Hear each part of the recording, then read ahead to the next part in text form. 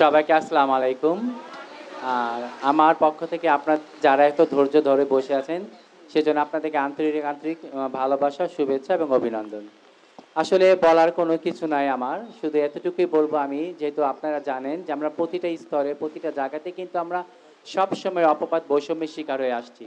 সেটা শিক্ষা ক্ষেত্রে বলেন পরিবার ক্ষেত্রে বলেন, প্রতিটা জায়গায়। তো একটা কথাই শুধু আমি বলব যে আমরা সবসময় শিক্ষার কথা বলি, স্কুল, কলেজে শিক্ষার কথা।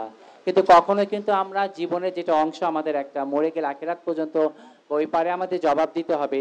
সেই শিক্ষার কথা কিন্তু সহজে আমরা সেটা বলি না। এই শিক্ষা চিন্তাটা কিন্তু আমরা ছোটকাল থেকে হয়তো বিভিন্ন মসজিদে বা হুজুরের কাছে পড়তে গেলেও কিন্তু আমরা বাধার শিকার হয়েছে অনেকভাবে, নানানভাবে, বিভিন্নভাবে। কিন্তু সেই কথাগুলো আমরা সহজে, সেটা সহজে বলি না।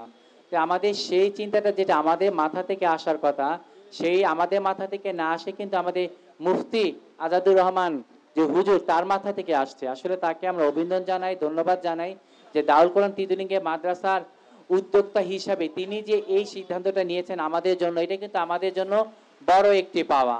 আমরা তার জন্য অবশ্যই দোয়া করি।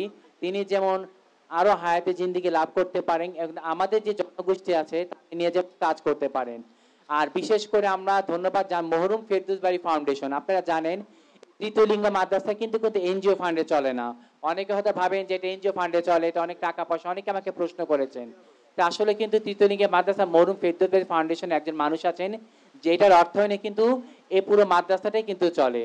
তাই আমরা তার জন্য দোয়া করব, আমরা হুজুরদের জন্য দোয়া করব।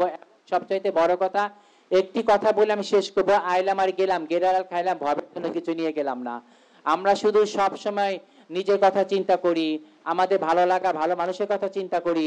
আমরা কিন্তু সবসময় উলুঝুলু কথা চিন্তা, কিন্তু মরণের পরে যে আমাদের একটা জীবন আছে সেটা চিন্তা কিন্তু আমরা খুব কম করি। তো অসেপ আমরা দুনিয়াতে আসছি যখন আমাদের যেতে হবে, সেই চিন্তা করে অবশ্যই আমরা আজকে যে হুজুরে যেটা বলে, পড়াটা, আরবি শিক্ষাটা, এটা অবশ্যই আমরা লালন করব, ভিতরে রাখব, এবং এটা শিক্ষা জেনেই আমরা মরে যেতে পারি, এবং এটা শিক্ষার অর্ধেক যদি আমরা মরে যেতে চাই ইনশাল্লাহ আমরা জান্নাতও লাভ করতে পারব। সবাই ভালো থাকবেন, আমার জন্য দোয়া করবেন, হুজুরের জন্য দোয়া করবেন। এবং আপনারা যারা যারা এখানে আছে সকল হুজুরা তাদের জন্য, গুরুদের জন্য শিক্ষার্থীর জন্য দোয়া করবেন।